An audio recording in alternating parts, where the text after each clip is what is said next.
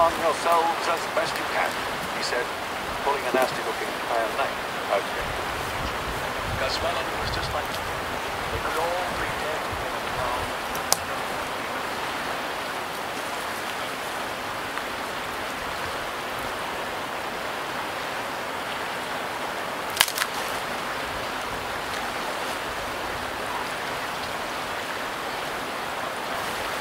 Chapter 27 The Gathering of Forces.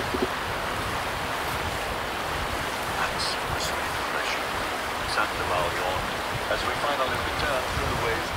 In 20 minutes of ferocious battle, they slaughtered over a hundred Iron Bandsmen and a dozen Earth commanders. The Nemmervorts mostly just. Their sacrifice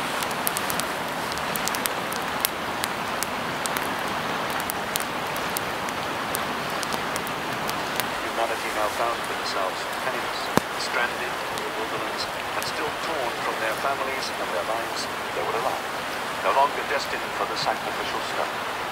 As war maps go, it was one of my better ones.